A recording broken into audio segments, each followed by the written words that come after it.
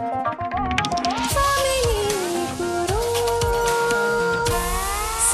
करे सपने अपने। आज है सोमवार, भगवान शिव का दिन, और आज मैं आपके सपने और शिव जी की बात करूँगी।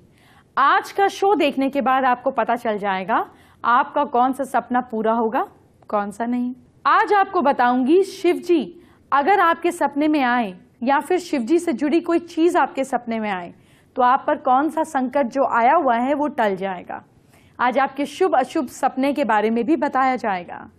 आपको वो सपना भी बताऊँगी जो पूरा होगा और ये भी जानेंगे कितने वक्त में पूरा होगा।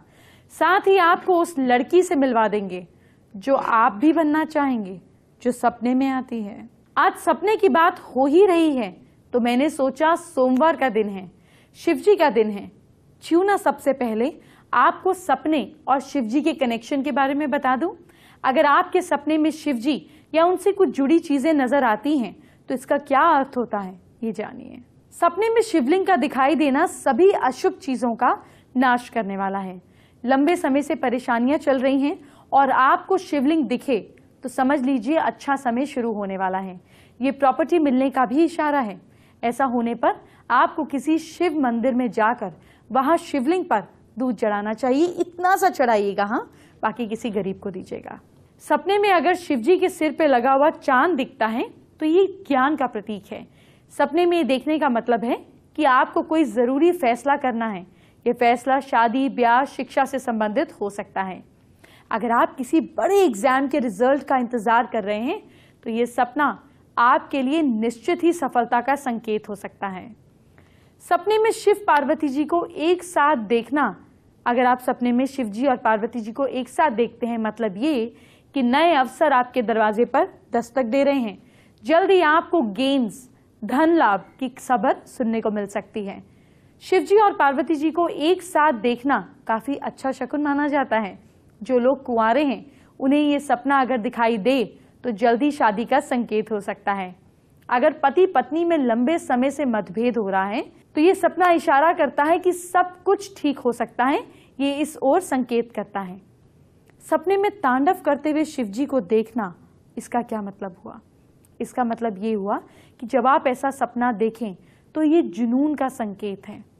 अगर ऐसा सपना आए तो इसका मतलब ये भी है कि आपकी सभी समस्याएँ जल्द ही हल होने वाली हैं और साथ ही आपको फाइनेंशियल गेन्स भी होंगे। लेकिन थोड़ी मेहनत करनी पड़ेगी।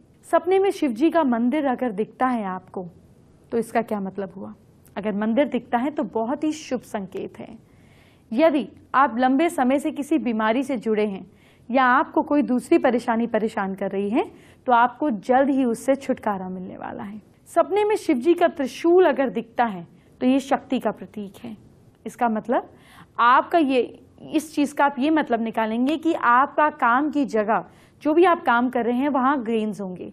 त्रिशूल का दिखाई देना सभी पीड़ा और समस्याओं से राहत दिलाने वाला होता है, ये भी माना जाता है। सपने में शिवजी की तीसरी आँख का दिखना, अगर सपने में आप देखते हैं शिवजी की तीसरी आँख तो ये अलर्टनेस बताती है। ये सपना आपको जीवन में कुछ ज़रूरी बदलाव का संकेत दे सकता है। सपने में शिवजी का डमरू दिखना, अगर डमरू देखते हैं तो इसकी ध्वनि किस चीज़ की प्रतीक है? ये ध्वनि का प्रतीक है। इसका सपना देखना आपके निजी और पेशावर जीवन में कुछ बहुत ही अच्छा पॉजिटिव बदलाव आ सकता है। जो भी नया काम करेंगे, उसमें निश्चित ही सफलता आपको मिलेगी। सपने में अगर आपको सांप दिखता है, जिन भी लोगों को सपने में आप बहुत कॉमन बात ये सुनेंगे कि सांप दिखता है, इसका मतलब इन्हें धन मिलने वाला होता है। अगर सांप फन फैलाए हुए हो तो आप उसके पीछे की ओर अगर देखते हैं तो आपके लिए शुभ फल देने वाला रहेगा। आपके साथ नाग देवता का आशीर्वाद रहेगा। सपना भी कमाल की चीज़ होती है। कभी डरा जाता है, कभी खुश कर देता है। लेकिन एक सवाल हमेशा आपके दिल में उठता होगा। आखिर वो सपना रात में देखो, वो सच होगा भी या नहीं? आज आपको ये बताती हूँ, कौन सा सपना सच होता है, कौन सा सपना झूठा साबित होता है? सोने से पहले तीन घंटे में देखा जाने वाला सपना एक साल में शुभ या अशुभ फल देता है। सोने के बाद से तीन से छह घंटे के बीच देखा गया सपना नौ महीने में शुभ या अशुभ फल देता है। इसी तरीके से सोने के बाद नौ से बारह घंटे के बीच देखा गया सपना तीन महीने में शुभ या शुभ फल देता है। सोने के 12 घंटे बाद देखा गया सपना एक महीने में शुभ या शुभ फल देता है। सुबह के वक्त देखा गया सपना जल्दी शुभ फल देता है। दिन निकलने के बाद देखा गया सपना पंद्रह दिनों के अंदर ही फल देता है। रात में तीन बजे से सुबह सूरज निकलने से पहले देखा गया सपना सात दिन में रिज़ल्ट देता है।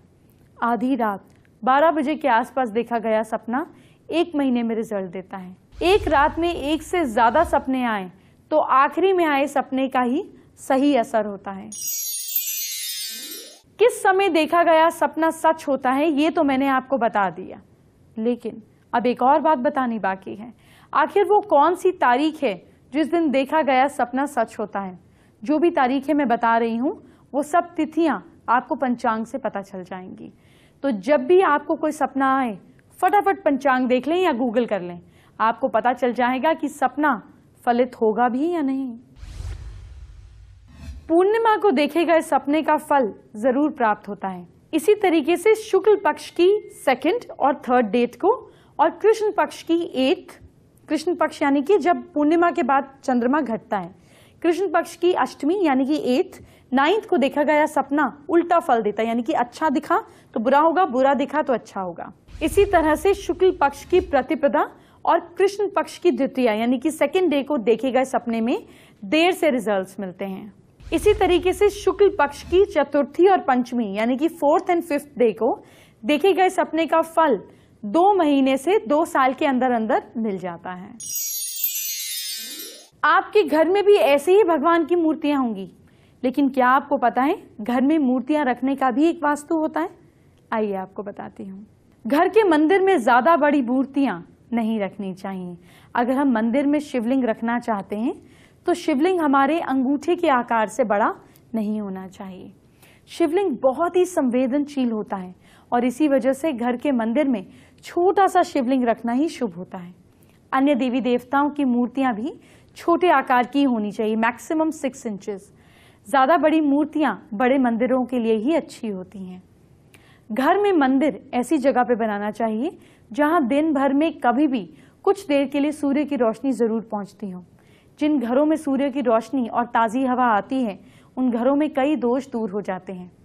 सूर्य की रोशनी से ही वातावरण की नेगेटिव एनर्जी भी खत्म हो जाती है और वातावरण पॉजिटिव होने लगता है। घर में जहाँ मंदिर हैं, वहाँ चमड़े से बनी चीज़ें, जूते चप्पल नहीं ले जाने चाहिए। घर के मंदिर में जो लोग दुनिया में नहीं हैं, उनकी फ़ोटो नहीं रखनी चाहिए, अपने एंसिस्टर्स की फ़ोटो नहीं रखें। पूर्वजों की फ़ोटो लगाने के लिए दक्षिण दिशा बेस्ट रहती है। घर में दक्षिण दिशा की दीवार पर जो लोग नहीं रहे हैं, उनकी फ़ोटो लगा सकते हैं। लेकिन ये फ़ोटो मंदिर में नहीं रखनी चाहिए। पूजा के कमरे में पूजा से संबंधित चीज़ें ही रखनी चाहिए। दूसरी चीज़ें रखने से बचना चाहिए। घर के मंदिर के आसपास टॉयलेट बिल्कुल नहीं होना चाहिए। इसीलिए ऐसे स्थान पर पूजा घर बनाएँ, जहाँ आसपास टॉयलेट ना हो। अगर किसी छोटे कमरे में पूजा घर बनाया गया है तो वो जगह खुली नहीं होनी चाहिए, जहाँ आसानी से बैठा जा सके ऐसी जगह हो। घर में मंदिर तो हैं। हर रोज सुबह और शाम पूजा अवश्य करनी चाहिए।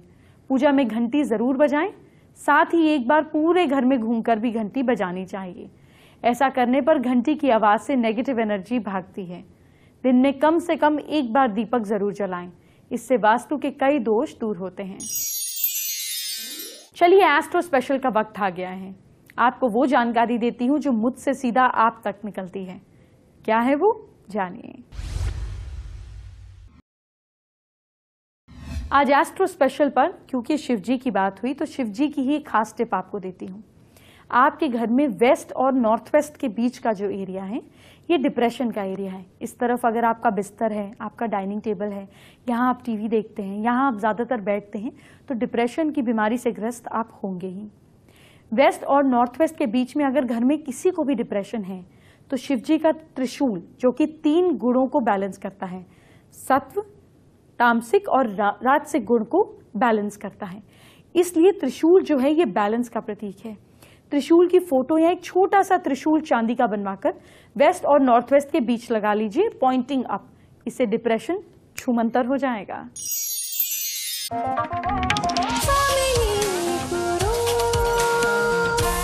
साकार करें सपने अपने।